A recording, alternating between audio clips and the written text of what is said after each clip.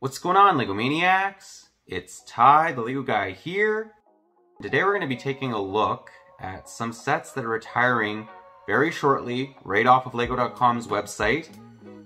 I was actually shocked to find out some of like some of the sets that are going to be retiring are actually really, really good. So I thought I'd give you guys a heads up if you are planning on buying these sets, buy them sooner rather than later because they are retiring soon. It says it right on the site. This is also going to help out the investor because I'm hoping to actually give you guys a little bit of insight on some of these sets briefly and why you should invest in them or why you should maybe steer away. Uh, but enough talk, let's get right into it.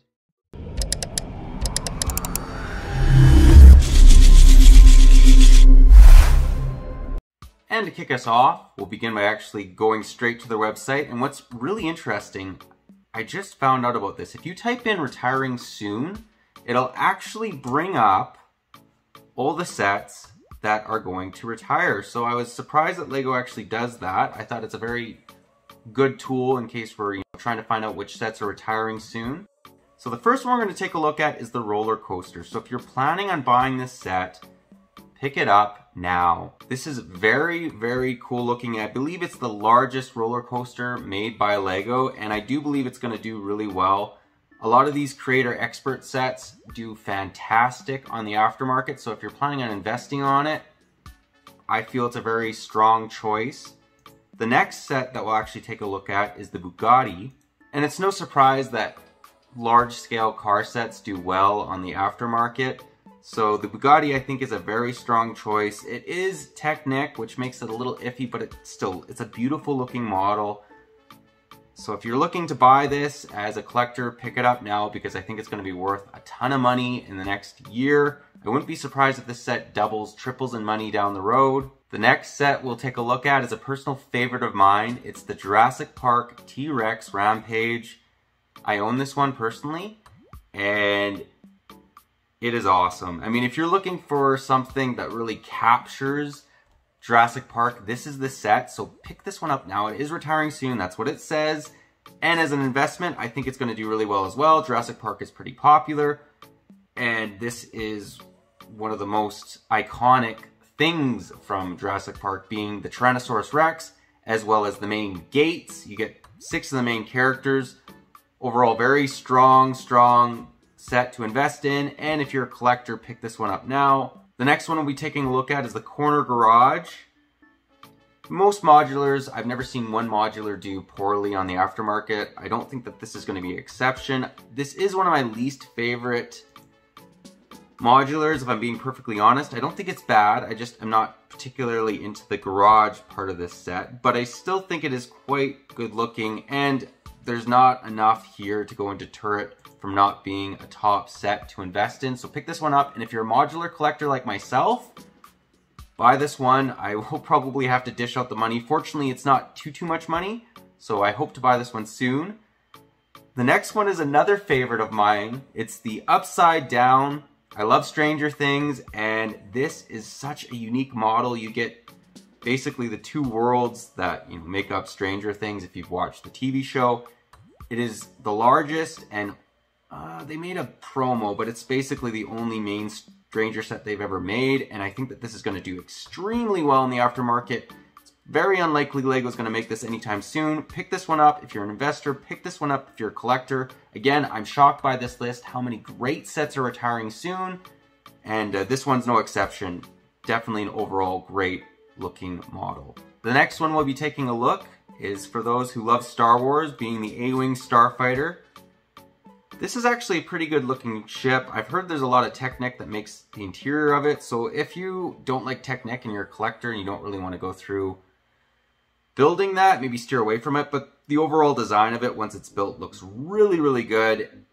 And if you're an investor, I've never seen one UCS Rebel ship do poorly on the aftermarket, so pick this one up.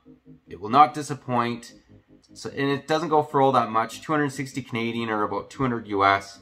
Definitely a solid set to maybe pick up. Unfortunately, most of these sets are large that are going to retire soon, so if you are an investor, you're going to have to have some space. But I still think that they're well, they're going to do great on the aftermarket. It's just you're going to have to have somewhere to stick them. The next set we'll take a look at is the James Bond Aston Martin. With the new James Bond that just came out, I think that this is really going to help bolster this set. So this one I actually, uh, I don't know if it's number one, I'd say, out of these sets retiring soon, but it's definitely in the top five, if not the top three. And if you're a collector and you like 007, pick this guy up. Again, I think it's going to be worth a ton on the aftermarket. It is retiring soon, like it says, and it's just an overall very nice looking model. I was surprised to see how small it was because I do actually own it and I have it sealed, but regardless, I think it's going to do really well. It actually has some pretty cool features with this car. Overall, definitely pick this one up. Now moving on to the next one, we have the London Bus.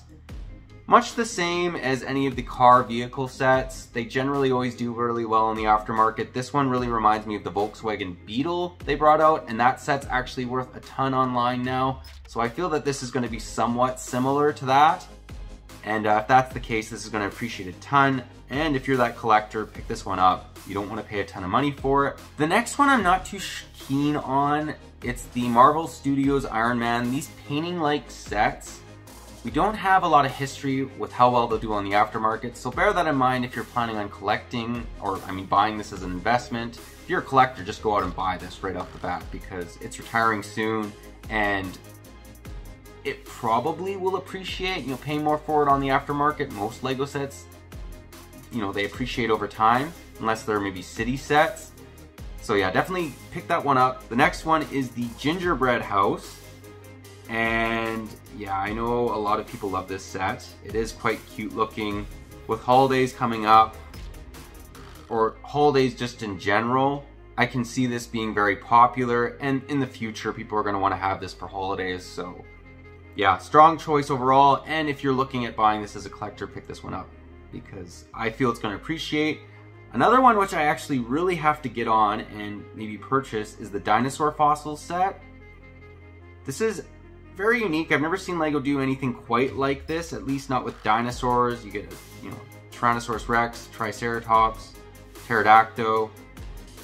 This almost reminds me of Johnny Thunder, at least the skeleton. Yeah, this is, I feel going to do well. It's not too large either. It's only 80 bucks. And I feel it is an idea set. A lot of times the idea sets do well in the aftermarket. And if you're a dinosaur lover, if you're into skeletons, buy this one if you like that in LEGO because it's retiring soon. The next one is the Harley Davidson Fat Boy. It's an interesting name for a motorcycle. Again, same thing as most car sets. I think that this falls into the same category. It is going to do well on the aftermarket. I don't have much doubt in that. Pick this one up if you're an investor. And if you're a collector, pick this one up. Like we've been saying, these sets I feel are gonna appreciate. I'm shocked, again, to see how many of these sets retiring soon are actually strong investment choices. And the last one that we'll talk about that I feel will do well on the aftermarket is the Ship in a Bottle. Bear in mind that this is a re-release. They have made this set twice. So because of that, there may be quite a few of them on the aftermarket, which it's gonna take some time for this to appreciate, but I own this set, I built it, very nice looking model. I could see someone sticking on a shelf for display. So if you're a collector, get this one now because I don't believe there's gonna be another re-release of it. And if you're an investor, I think it's gonna be solid. Just bear in mind again, I'm not sure how many of these are in circulation. That's the only thing since it has been released twice. But if you're willing to wait, hold on to it for a couple years. I feel that this is definitely gonna appreciate. It's not that large either, so you don't have to worry too much about space. And then the next sets that are retiring are not worth talking about. Celebration Bag Charm, and the rest of them that are all out of stock.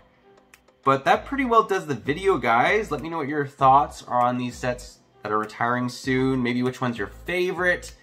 If you disagree or agree on certain sets I think are strong investment choices, what was very surprising about this list is basically every set that's retiring soon I feel is going to do very, very well in the aftermarket. But again, let me know what your guys' thoughts are on it.